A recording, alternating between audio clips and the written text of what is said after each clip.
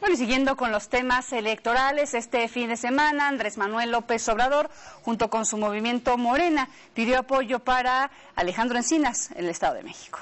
Y advirtió, ya vislumbra la posibilidad de que el PRI pudiera regresar a Los Pinos. Dirigente del Movimiento de Regeneración Nacional, Andrés Manuel López Obrador, encabezó en el Zócalo del Distrito Federal un mitin para promover el voto de Alejandro Encinas, candidato del PRD al Estado de México. Participan por su propia voluntad militantes del PRD, del PT y de Convergencia y muchos ciudadanos sin partido. A todos respetuosamente los convoco para apoyar la candidatura de Alejandro Encinas. En el Estado de México se está viviendo el primer episodio de la historia, que tendrá su momento definitorio en julio del 2012. En el multitudinario evento, acusó al PRI de querer regresar a Los Pinos a costa de acusar las fallas de la administración del presidente Felipe Calderón. Han puesto de moda echarle la culpa de todo al PAN y a Calderón, al que ya por anticipado han convertido en chivo expiatorio.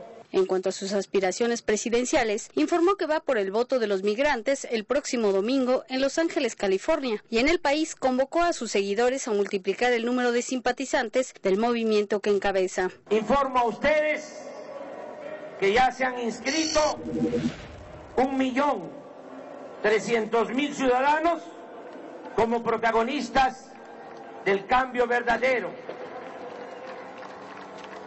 a finales de este año serán cuatro millones. Y si cada uno cumple con su compromiso de convencer a cinco, tendremos el respaldo de 20 millones de ciudadanos. En una inusual confesión, dijo que es un hombre de errores y defectos. En lo espiritual, profeso el amor al prójimo, pero también y con la misma devoción respeto a quienes mantienen otras creencias y a los libres pensadores. Nunca me ha interesado el dinero, pero sostengo que no todo el que tiene es malvado. TVCN, Ligia Orozco.